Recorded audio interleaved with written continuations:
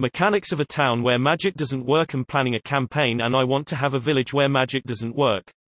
You can't cast spells, magical items lose their ability, things like that. I am fairly new to the lore and mechanics of the D&D world so I don't have a good grasp on how to do this.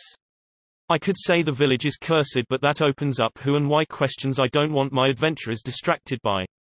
I want something more like, the village happens to lie in a pocket that is disconnected for the magic plane if that's a thing.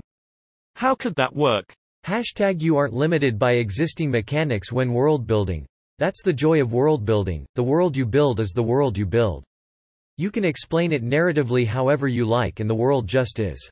However, what you may be looking at mechanically is an enormous anti-magic field PHB 213 in terms of what happens when they try and utilize magic in the town. But you can really make it however you want for whatever reasons you want. Just be consistent if it's wider ranging than just the town so players understand what's happening and can learn to prepare or react accordingly.